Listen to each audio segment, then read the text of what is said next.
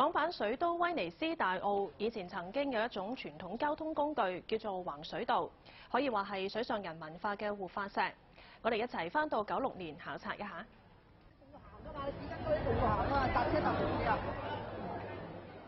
用一條大麻繩綁喺河嘅兩岸，然後由船家拉動平底船運人過河，就係大澳特有嘅交通工具橫水道。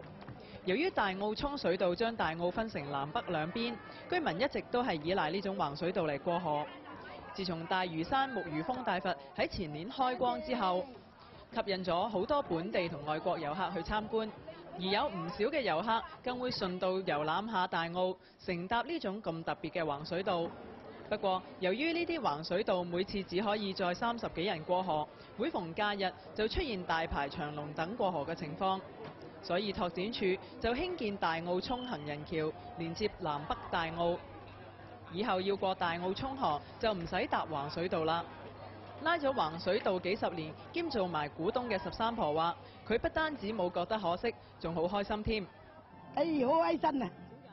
好好滿足啊，老啦嘛，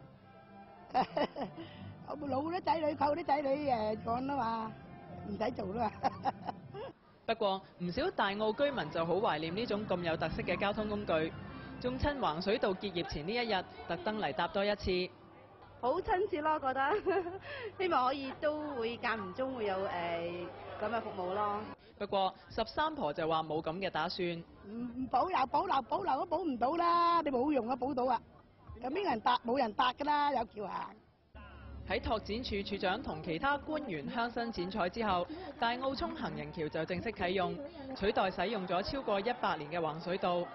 而橫水道亦都功成身退，成為大澳嘅歷史陳跡。大澳嘅橫水道雖然已經光榮結業，但喺元朗南生圍嘅山背河就仍然保留住呢一種傳統嘅渡河工具。下次有機會去到南生圍郊遊就唔好錯過啦〜